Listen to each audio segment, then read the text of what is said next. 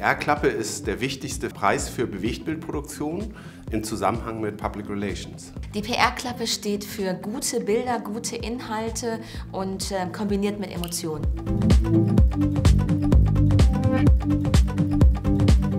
Es ist einfach eine wahnsinnige Bandbreite im PR-Film.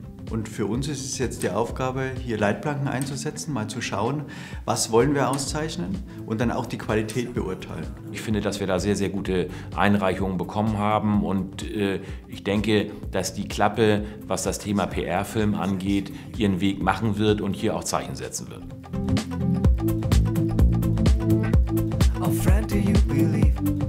Der Werbefilm ist hauptsächlich ein Direktschuss auf die Emotionen und die PR, die aber sehr viel Ähnlichkeiten hat, arbeitet mehr drumherum und vertieft und, und beleuchtet Aspekte. Ein Werbefilm verbreitet sich über bezahlte Mediaschaltung. Ein PR-Film muss sich alleine deswegen verbreiten, weil das Thema interessant ist, aktuell ist oder die Machart so gelungen ist, dass es wie von selbst geht. Für mich muss der PR-Film einen Inhalt erzählen. Die Idee ist für mich ganz, ganz wesentlich. Etwas Journalismus sollte sowohl in der guten Werbung wie in der guten PR-Arbeit äh, vorhanden sein. Bei einer guten PR-Arbeit ist sie allerdings sicherlich zwingend.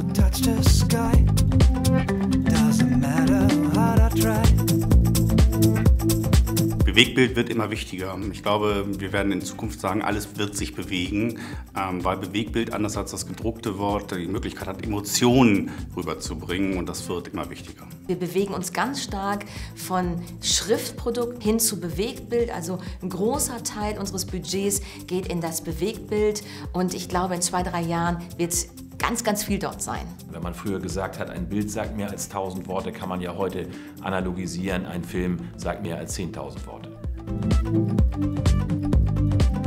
Der Trend geht sicherlich dazu, dass die Filme hochwertiger werden, ähm, dass vielleicht sich auch in der Filmästhetik PR und äh, Werbung, PR und Marketing sich annähern.